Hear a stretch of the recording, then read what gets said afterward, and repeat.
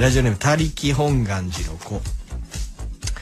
人間に一番近いチンパンジーこと市原隼人の野郎が 先日のスタジオパークにてこんなことを言っていました。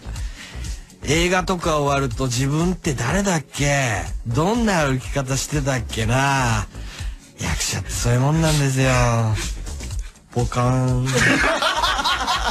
あのなそもそもお前は役者でもなきゃ人間でもねえ。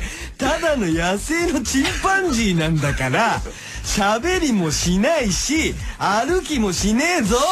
せいぜい動物園の猿山のてっぺんで吠えてろよ。な？はいはい。バナナ欲しいのか？やるよ。ちょっともういい加減しなさいよ本当に。ごい。ひどいぞ。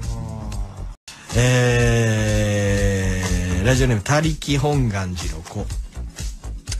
人間に一番近いチンパンジーこと市原隼人の野郎が 先日のスタジオパークにてこんなことを言っていました。